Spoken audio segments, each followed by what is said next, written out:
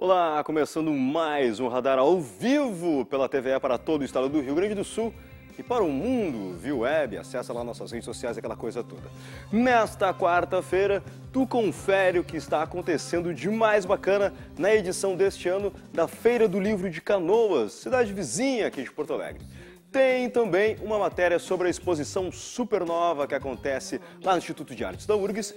E aqui no estúdio temos a companhia do nosso amigo Marcelo Fruê, guitarrista, músico, compositor, violonista, que uh, vai estar trocando uma ideia conosco e mais falando sobre as suas viagens pelo mundo, uma série de coisas, né, Marcelo Fruê? Como está você? Tudo bem, cara? Tudo bem. Tudo tranquilo? Uma boa, boa tarde, boa noite para todo mundo. Aí. Recém chegar nos Estados Unidos, quer dizer, algum tempinho já, quanto tempo, Marcelo Freire, já está de volta? Chegamos aí? no começo de abril, né? De Beleza. viagens. Foi uma viagem bem, bem densa, quase um mês de viagem, estrada direto, tocando direto no país do Tio Sam lá. Bom, daqui a pouco a gente vai falar sobre essas viagens e outra viagem aí pro atravessando o Atlântico e um pedaço do Pacífico, ou Pacífico ou o Atlântico, tanto faz. Que tu via, via foste ao Japão, a gente vai falar no sobre caso outras. Foi Pacífico. outras tribos do, do, do, Marcelo e dos cozinheiros. Mas antes a gente escuta som. Onde som, Marcelo? Tempo.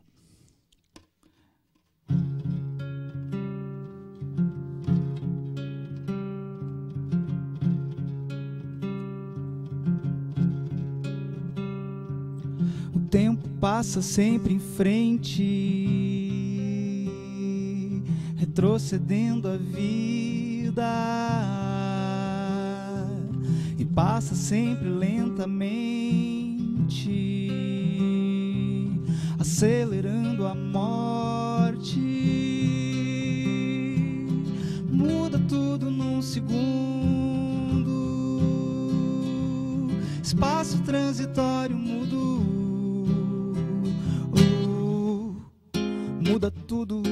não sei ver muda o meu amor por você. Deixa eu levar tua mão, me faz gozar de razão. Tempo me leva, concede-me um desejo.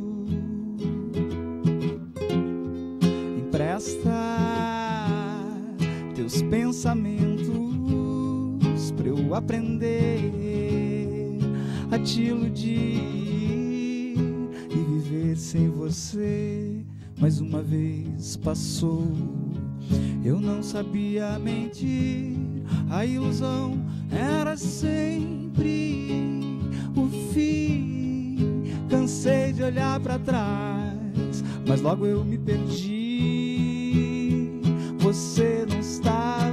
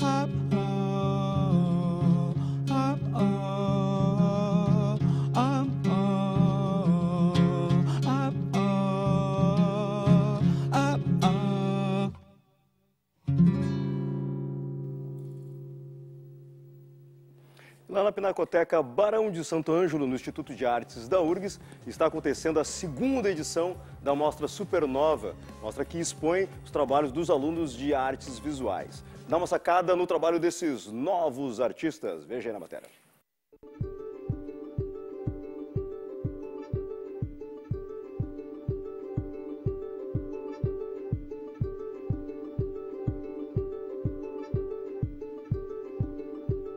Trabalho de conclusão de curso dos alunos de artes visuais da URGS rendeu a exposição Supernova. São 12 artistas mostrando sua arte, cada um do seu jeito. cada um tem um pedaço do trabalho de conclusão. Cada trabalho de conclusão tem uma porção de trabalho maior, um pouco.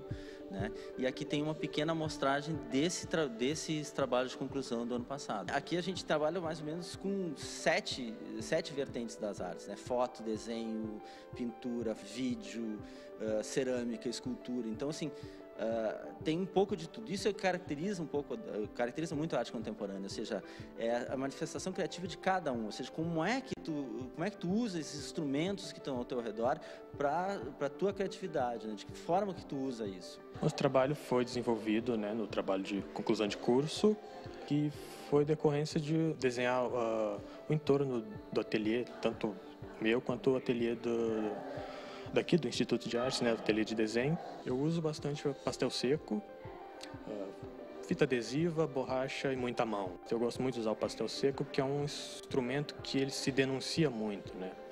Ele deixa bastante rastro, ele é uma coisa que impregna, né? E eu gosto muito dessa coisa do, do rastro, dos acidentes que acontecem, eu gosto de cultivar isso e acho que isso constitui também uma, uma história do, do do desenho em si ser um espaço, né? um espaço de passagem, um espaço em que fica ali impregnada e registrada né? uma presença, uma filmação de desenhar. Esse aqui é um dos trabalhos que eu fiz para o projeto de graduação. Ele, na verdade, foi o que deu início e que levou a todo o processo dos aquários, que são esses que estão aqui. Uh, eu começo desenhando muito figurativo e aos poucos eu vou desconstruindo essa imagem, essa figura. Comecei a desenhar as pessoas sendo submersas dentro da água, tipo as figuras, as imagens que eu buscava eram sempre esse, esse tema. Eu comecei a submergir o desenho ao invés de desenhar as pessoas submersas. Assim. Eu comecei em vasilhas, vasilhas pequenas, rasas assim, e eu ia acrescentando materiais, água sanitária, água oxigenada. E até que eu fiz os reservatórios, que são esses recipientes de vidro, onde eu coloquei como se fosse um aquário o desenho dentro e deixei o tempo que for. Quanto tempo esse aqui ficou? Quatro meses e aquele seis. Aquele é o que está mais. Mas esse aqui mofou e ele tem os mesmos materiais. Isso foi uma surpresa dentro do processo. Foi inusitado, na verdade. Faz realmente parte do processo. Eu não tenho mais controle no momento que eu coloco aqui ou eu acrescento água sanitária. A água sanitária continua agindo sobre o papel depois. Ele cria outras manchas amareladas conforme o tempo. Então, quando eu faço isso, eu perco um pouco do controle de onde o trabalho vai chegar. Eu utilizo o desenho como linguagem poética e não como uma ferramenta.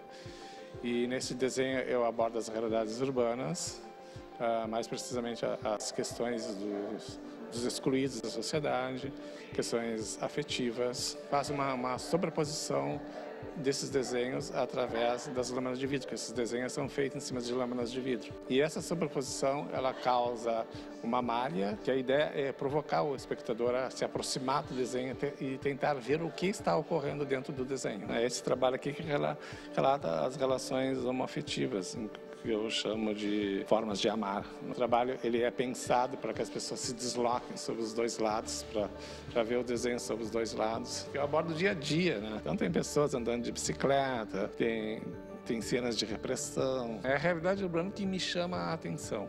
Passar pela rua e ver moradores de rua deitados na calçada, isso aí me chama atenção. Então, passo para a tela, uma forma de questionar. Por que, que aquilo ali está aí? O que, que nós podemos fazer para que deixe de existir? É uma realidade que existe e que nós não podemos ficar indiferentes para ela.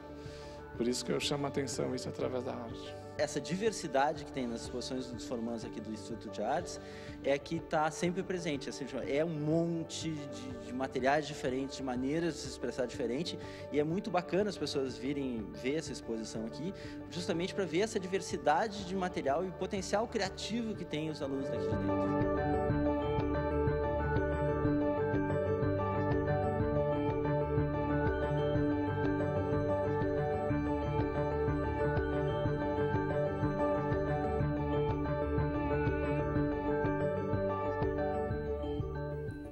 Destacamos para a missão de cobrir a Feira do Livro dois dos nossos mais valorosos soldados desse continente, do, do contingente radariano, o Piá e a Maitê. Eles se bandearam para a região metropolitana de Porto Alegre hoje à tarde e já nos mandaram pela internet material produzido por lá. coisas que tu confere no radar de hoje e amanhã. E também vai, teremos uma grande matéria mostrando mais dessa programação que está bem interessante. Confere aí o primeiro vídeo. Durante essa semana, o programa Radar te mostra o que está acontecendo na 29ª Feira do Livro aqui de Canoas. Essa que já é considerada a segunda maior feira do estado. Ela iniciou dia 1 de junho e fica até o dia 15 de junho. O patrono desse ano é o escritor Décio Dalke e a homenageada é a também escritora Luísa Geisler.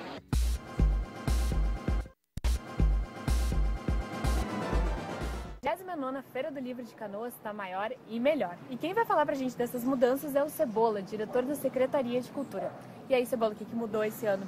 Esse ano teremos 196 atividades com ah, apresentações teatrais, encontro com os escritores, lançamentos de livros, usina de quadrinhos, cine literário e que dialogam diretamente com a comunidade teremos ah, como grande novidade atividades descentralizadas, não apenas aqui no, no, Calçadão e na Praça da Bandeira, mas também diversas atividades nos bairros que englobam escolas, pontos de cultura e pontos de leitura, onde os escritores estão indo levando as obras e levando debates junto para as pessoas no, nos bairros. E né? quantas pessoas são esperadas? Esse ano um público maior, com mais, mais de 350 mil pessoas. Com certeza, né, o público que gira todo, todos os anos é em torno de 350 mil e esse ano a gente acredita que teremos mais de 350 mil pessoas. São 196 atividades e bem Tá bem legal a participação das pessoas aí, eh, o acesso ao livro, a questão da democratização, do, do estímulo à leitura. É que o livro é uma grande ferramenta de transformação social. A gente entende que uma ação como uma feira do livro, ela leva esse estímulo para a comunidade. Então amanhã tem mais Feira do Livro aqui no Radar.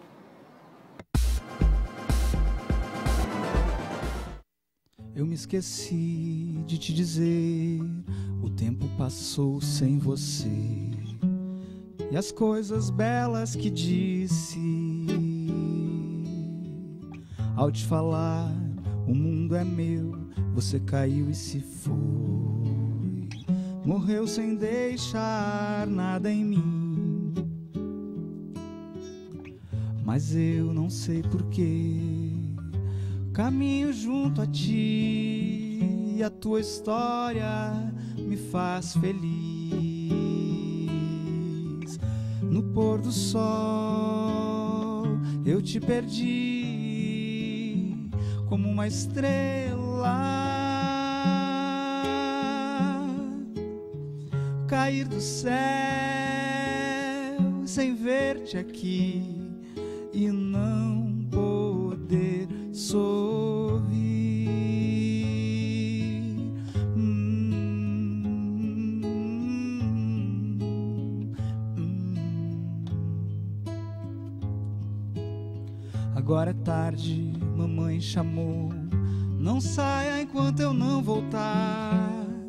te contar sobre a vida. A nossa vida sem ninguém que passa inteira. A nossa bossa, poça d'água, ribanceira na beirada. Alguém me disse que era assim. tua hora apareci, mudei o nome,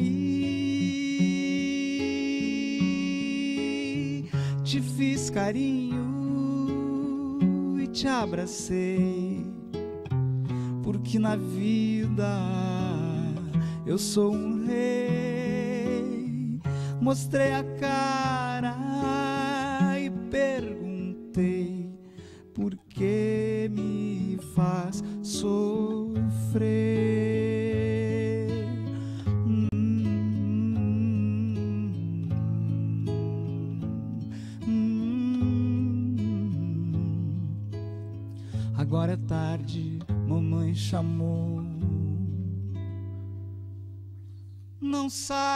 enquanto eu não voltar.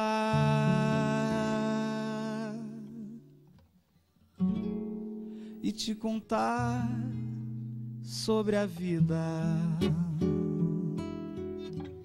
nossa vida sem ninguém que passa inteira. A nossa vossa poça d'água, ribanceira na beirada. Alguém me disse que era assim. Pôr do sol eu te perdi como uma estrela. Cair do céu sem ver-te aqui e não poder sorrir no pôr do sol. Eu te perdi como uma estrela.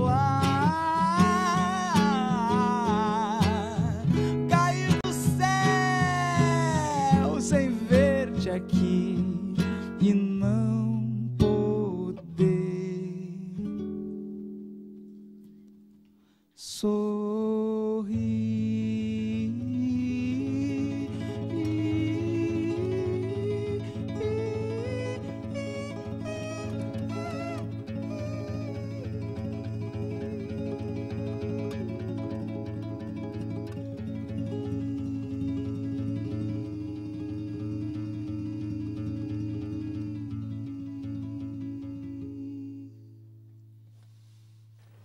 Marcelo Froê sem os cozinheiros hoje aqui no radar, né, cara?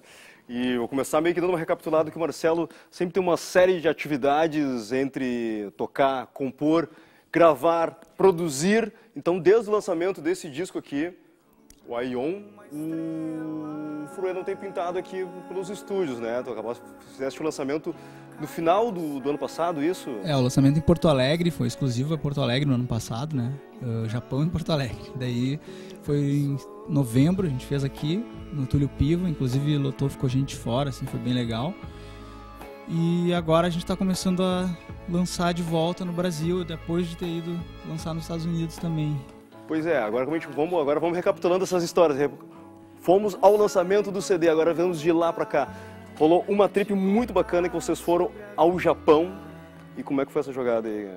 Cara, foi assim, uh, no Japão a gente foi para três cidades, né? A gente foi convidado para tocar em Osaka, que a gente fala Osaka, mas eles falam Osaka lá. Descobri isso.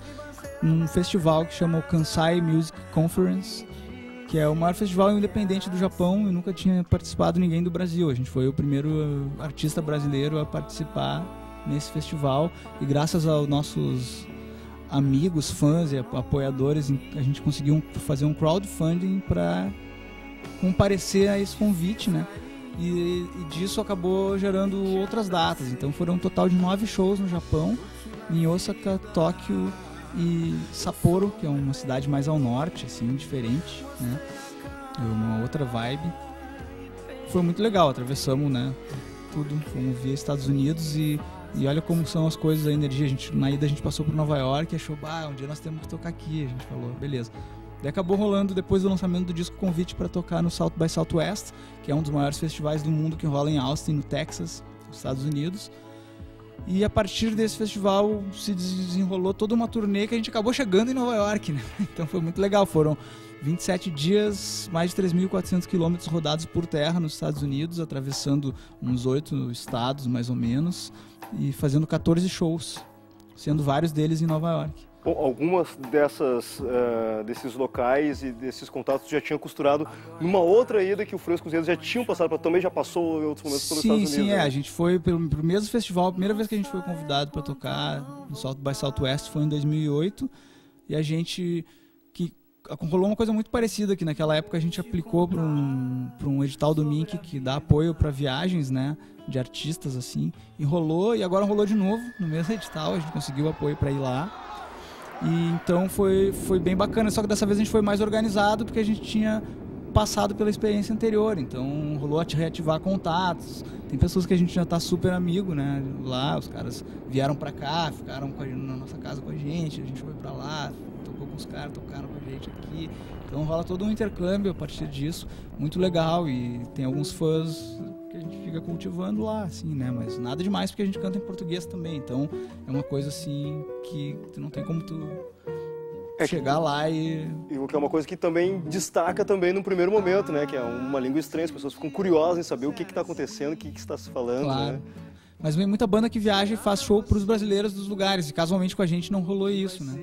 Com a gente rolou um lance, tipo, no Japão foi mais japoneses e estrangeiros, ah, tipo, australianos, essas coisas, os caras que são, moram lá por perto, né? Austra- ah, os caras da Coreia, da China, que eram mais o nosso público, assim, que ia no nosso show. Claro que ia um ou dois brasileiros que a gente acabava conhecendo por rede, mas o nosso público essencialmente não eram os brasileiros que moravam no Japão. E assim como nos Estados Unidos também não. Foi- foram muito poucos brasileiros no nosso show. Foram mais americanos mesmo, assim.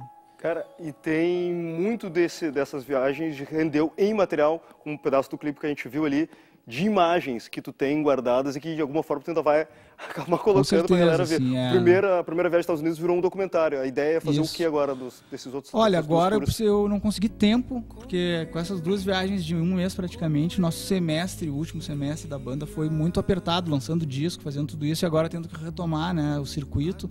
Então, o meu tempo ficou muito reduzido, a gente não conseguiu assistir tudo que foi gravado, porque foram muitas coisas, foram, tipo, tem uns 2 terabytes de arquivos de, de viagem só, para ver o que, que a gente vai produzir, mas tem assim, tem shows, tem muitas impressões dos americanos a respeito do nosso trabalho, assim, a gente fez algumas entrevistas pós-show, assim, pegando o cara na hora que está quente na cabeça dele, ah, e outras coisas muito interessantes a respeito do processo da viagem mesmo, né? Então eu acredito que vai sair uma espécie de documentário, mas eu, eu acho que dessa vez a gente vai fazer numa linguagem um pouco mais contemporânea, em vez de fazer um documentário longo, vamos fazer vários episódiozinhos curtos. assim. Utilizar a rede até pra galera que tá lá também poder assistir. É, Falando em retomar lançamento, retomar carreira, retomar shows em Porto Alegre, tem duas atividades bem legais que vocês vão participar agora na sequência. É, é o- que é uma de ocupação de espaço público, que é a Serenata Iluminada na, na Redenção, e outra que é parecida, é de ocupação do espaço do vizinho. do desses dois vizinho, é, eventos na verdade é bem legal, porque tipo, é o nosso fim de semana voluntário, vamos dizer assim, né? São trabalhos bem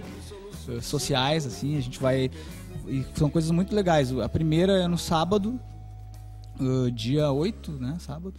eh, Se eu não me engano, começa às 19 horas lá na Redenção. Todo mundo pode chegar, é aberto, tem que levar sua lanterna, suas velas. O evento se chama Redenção, Serenata Redenção Iluminada. É a segunda edição, né? Já teve, se eu não me engano, foi no ano passado. O evento Foi seria no muita gente. passado, que não chu- É choveu. muito né, legal, é uma iniciativa do Porto Alegre CC, que é um, né, um- uma ONG ou algo assim, não sei descrever Um muito coletivo. bem. Coletivo que propõe isso, a ocupação de espaços e de e de tipo da cidade, da gente achar outros meios de fazer a cidade viver melhor, né? A gente de compartilhar melhor, de verdade, compartilhar de a- verdade. essa história de, É. de estar perto, comunidade. E o outro é a ideia de estar perto, E o outro que é o projeto vizinho, né? Vizinhança, que nesse caso se chama Vizinhança Jazz, e acontece lá na casa da dona Ivone Pacheco, que é uma diva do jazz aqui de Porto Alegre. E vão ter vários artistas lá tocando. Daí vai ser no domingo, a gente vai estar tocando às 17 horas.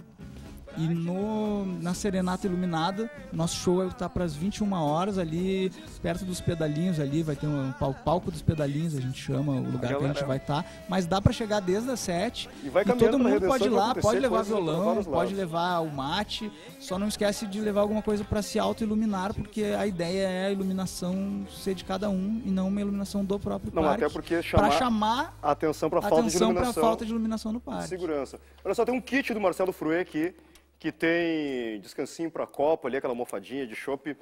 Tem também o CD do Marcelo Fruê e bottoms.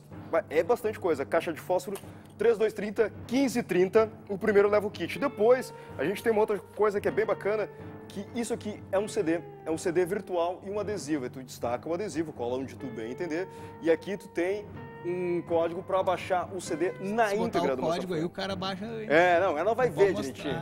É meio pra- decorou, não decorou? Então a gente faz o seguinte, vai ligando aí 3230 1530, nós temos dois CDs virtuais pra galera baixar, e Quem- mais o kit do Marcelo Fruei. Só, Liga Fruei pra não, iniciar. só, só um pra recado assim, eh, quem quiser saber alguma coisa da banda, entrar em contato ou até mesmo saber sobre a aquisição dos, dos- todos os produtos, pode ir lá no nosso site, cozinhandomusica.com. Lá vai ter endereço para ir para a página do Facebook, e, enfim, todas as nossas eh, maneiras de ser contatado e, e gerar conteúdo. Beleza, valeu Fruê pela presença aí. A gente encerra com o clipe do Fruê, que tem tudo a ver com esse papo que a gente tava falando, assim, de sair rumo ao Japão. Então, é o clipe que é o Som Forni, Forton, Tom Forton. Uma música são- muito legal. Essa música foi composta por um amigo meu lá de Rio Grande e a gente fez um, um rearranjo nela, assim, né? E essas imagens do clipe, na verdade, foram imagens que a gente capturou durante a viagem e que depois eh, a gente separou as melhores takes e mandou para um cara lá no Japão, que é o Roberto Maxwell, que é o cara que montou o o, clipe, clipe. lá no Japão também. Beleza, então do Japão para o Rio Grande do Sul, do Rio Grande do Sul para os Estados Unidos. E nós voltamos amanhã, seis e meia da tarde, curtindo um trecho aí do Song for